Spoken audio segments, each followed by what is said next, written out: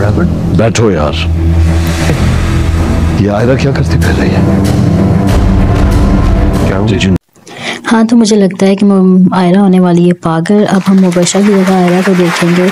किस तरह से स्ट्रेस में जो है वो पागलपन करते हुए नज़र आएगी। जी हाँ लेटेस्ट एपिसोड में ड्रामा की बहुत ही इंटरेस्टिंग रही है, जिसमें हमने जैद और मुबशा को तो करीब आते हुए देखा ही देखा है।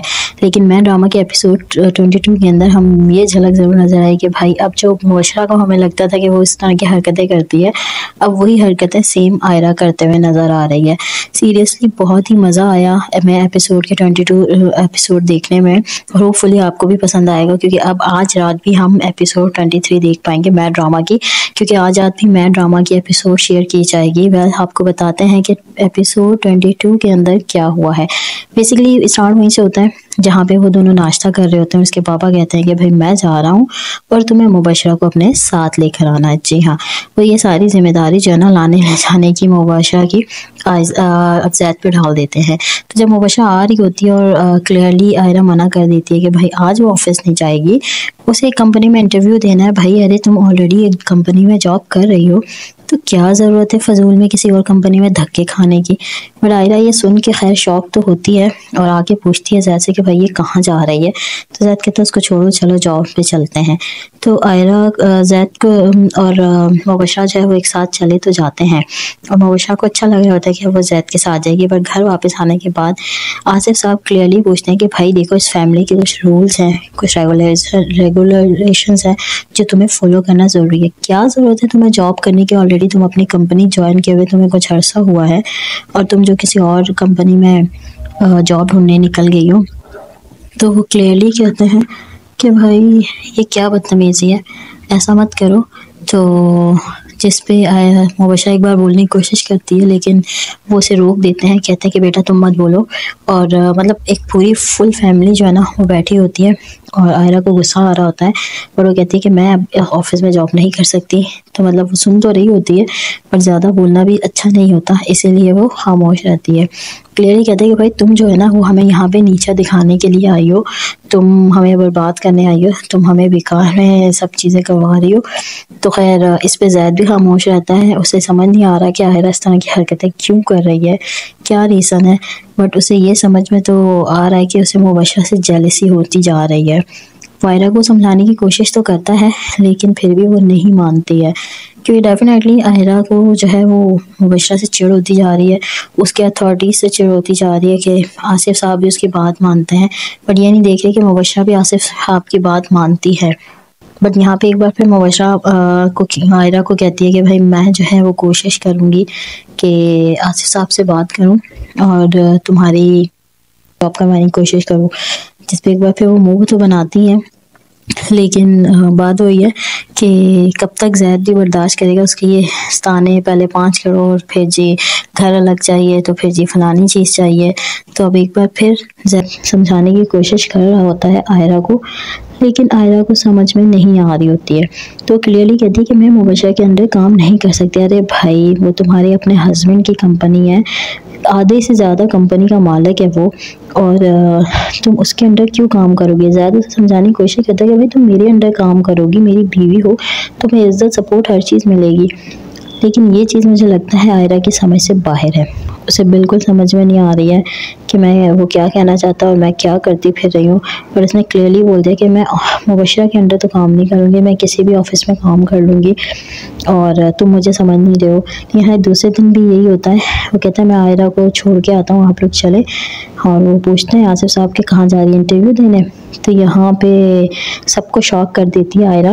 वो इसलिए कि वो क्लियरली बोलती है कि भाई मैं जॉब पे जा रही हूँ, मुझे जॉब मिल गई है।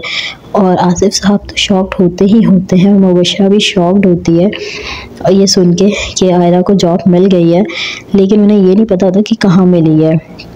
लेकिन जब पता चलेगा तो धमाका होने वाला है। लेकिन आयरा की ये बात सुन के सबसे ज़्यादा शॉक्ड होता है उसका अपना हस्बैंड जैद अच्छा तुम्हें जॉब मिल गई तुमने मुझे बताया नहीं। वाह मतलब हस्बैंड के सामने रहते हुए इसे पता ही नहीं तो कहती है, एक ही दिन में मुझे जॉब मिल गई है। और आसिफ साहब भी खामोश हो जाते हैं। क्या कहते हैं? उनको समझ नहीं आता कि ये लड़की क्या कर रही है। और जैद भी जो है वो इस एपिसोड के अंदर ना, पूरे एपिसोड में हमें इरिटेशन ज़रूर नज़र आई है जैद के चेहरे पे। जिसको देख के मुबशरा तो खुश हुई है, क्योंकि अब उसका चांस है। जैद के साथ रहने का और वो जाते हुए गाड़ी के अंदर जैद से पूछती हुई है कि भाई, देखो कोई तुम परेशान मत हो, कोई चीज़ है तो शेयर करो मुझसे। मुझसे पूछती है, ये मोमेंट अच्छे लगे हैं, क्योंकि अब ऐसा लगता है कि जैद जो है वो मुबशर के करीब ज़रूर आएगा। लेकिन इसके अलावा वो ये भी कोशिश करती है कि वो आयरा को समझाए। वो उसे बिल्कुल बुरा नहीं लगता, वो कहती है, आयरा को समझ नहीं आ रही कि भाई मेरी जायदाद तुम्हारी है और तुम्हारी जायदाद उसकी भी है। तो वो अपना नुकसान कर रही है, अपना फ़ायदा नहीं देख रही है। वाह, मुबशरा मतलब इतनी सोच रखती है मुबशरा। कि उसे पता है कि इसकी सारी जायदाद इसकी है और साथ में आयरा की भी है? मतलब इतनी सपोर्ट कर रही है मुबशरा और वो जो है नेगेटिव होती जा रही है। और जी, बाद में हमें पता चला कि जी, वो कहीं और जॉब नहीं करने जा रही, बल्कि वो ऐसी जगह जॉब करने जा रही है, जहाँ पे ऑलरेडी कुछ दिन जॉब करके जैद ने छोड़ा था। जी हाँ यानी कि आसिफ साहब के कंपटीटर के पास वो चली गई है उठ के। तभी तो एक दिन में जॉब मिल गई उसको। तो वो उससे क्लियरली प्रॉमिस लेते हैं कि भाई तुम इस तरह से जॉब छोड़ के नहीं जाओगी, जितने दिन जैद ने किया ऐसा नहीं करोगी। वो भी कहती है, ठीक है, हम कर लूँगी, मैं ऐसा बिल्कुल नहीं करूँगी, वो उनका बेटा है और मैं उनकी बहू हूँ।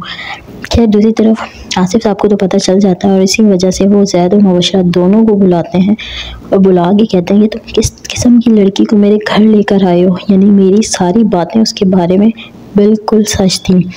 वाह मतलब एक बार फिर उनको अपने फ़ैसले पे यकीन हो गया कि वो बिल्कुल ठीक थे कि ये लड़की हमें नीचा दिखाने आई है।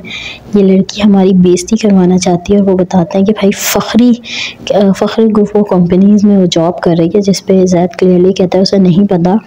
मुबशरा उसकी साइड लेती है, लेकिन वो क्लियरली उसको कहते हैं कि भाई तुम इसकी साइड मत लो।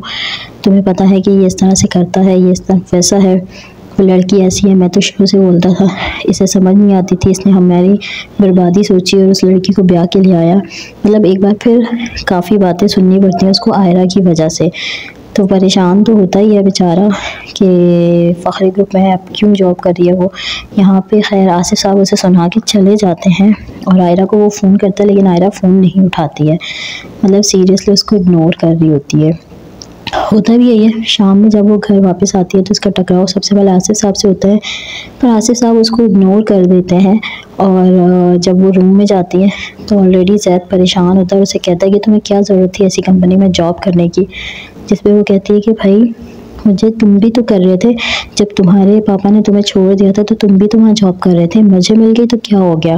तो कहते वो एक अलग सिचुएशन थी और तुम्हारी अलग सिचुएशन है। तुम्हें पता है, वो हमारे कंपटीटर है और इसके बावजूद मुबशरा जो है, आयरा जो है, वो क्लियरली मना कर देती कि नहीं भाई, वो जॉब तो वहीं करेगी और इस पर अगर अंकल नाराज़ हो रहे हैं तो मैं ख़ुद जाके बात करती हूँ। मतलब ज़्यादा कोशिश करता है कि वो बात ना करे।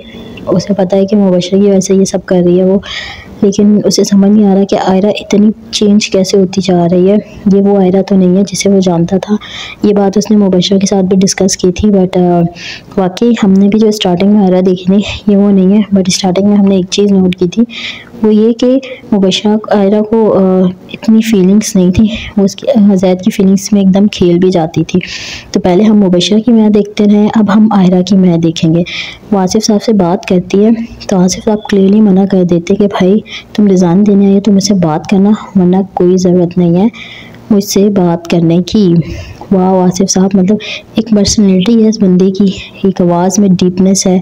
मतलब सीरियसली एक बिल्कुल वर्ड बिज़नेस मैन जो होता है ना, वो है आसिफ साहब। खैर, यहाँ पे वो इग्नोर कर देते हैं उसकी बात को और वो ये यकीन दिलाने की कोशिश कहती है कि मैं आपका कोई नुकसान नहीं करूँगी, ये नहीं करूँगी, वो नहीं करूँगी। पर आसिफ साहब क्लियरली कहते हैं कि तुम पे भरोसा ही नहीं है मुझे तो तुम क्या नुकसान करोगी? तो यहाँ पे तो वो क्लियरली सही है, एक तरह से देखा जाए तो पिछले एपिसोड्स के मुकाबले में मैं ड्रामा के इस एपिसोड में काफ़ी इंटरेस्टिंग होता जा रहा है। मतलब हर गुजरते दिन के साथ एक नया ट्विस्ट नज़र आता है ड्रामे के अंदर। पहले मैं एक बंदे की दिखाते हैं, फिर दूसरे की, फिर तीसरे की। मतलब टिपिकल टाइप की जो सास बहू की स्टोरीज होती हैं ना, वो नहीं है इसमें। लेकिन खैर सुबह में फिर वही होता है कि आयरा अपनी कन्वेंस में जाती है और जैद जो है वो मुबशरा के साथ जाता है। फिर शाम में जब वो वेट कर रही होती है कि शायद वो लोग आगे होंगे तो यहाँ एक और अलग ही सीन नज़र आया हमें देखने में, जो कि आगे चल के ड्रामा पे मुझे लगता है काफ़ी इम्पैक्ट डालने वाला है। जी यहाँ हम बात कर रहे हैं कि वो वेट कर रही होती है और इतने में मुबशरा का भाई भी आ जाता है और जब वो आयरा को देखता है तो वो शॉक्ड हो जाता है मतलब वैसे ही सबको पता है कि रियान जो है वो शादी से पहले ऑलरेडी फ्लर्ट करता रहा है, लेकिन ये नहीं सोचा था कि आयरा को उसके बारे में इतनी नॉलेज होगी। मतलब उसे ये तक पता है कि कौन सी लड़की से वो फ्लर्ट करता रहा है। कहीं ऐसा ना हो कि दोनों एक ही जो कॉलेज में पढ़ते हो। बट अगर ऐसा है तो मेरे ख्याल से जैद भी तो उसी कॉलेज में पढ़ता था जिसमें आयरा पढ़ती है। तो खैर यहाँ पे उसे टॉन्ट करता है कि भाई नज़र हुस्न देखने के लिए होती है, ये, वो, और यहाँ वो उसके सामने डट के खड़ी हो जाती है और उसको क्लियरली उसके फ्लटनेस के बारे में बताती है, उस लड़की जहरा का नाम लेती है।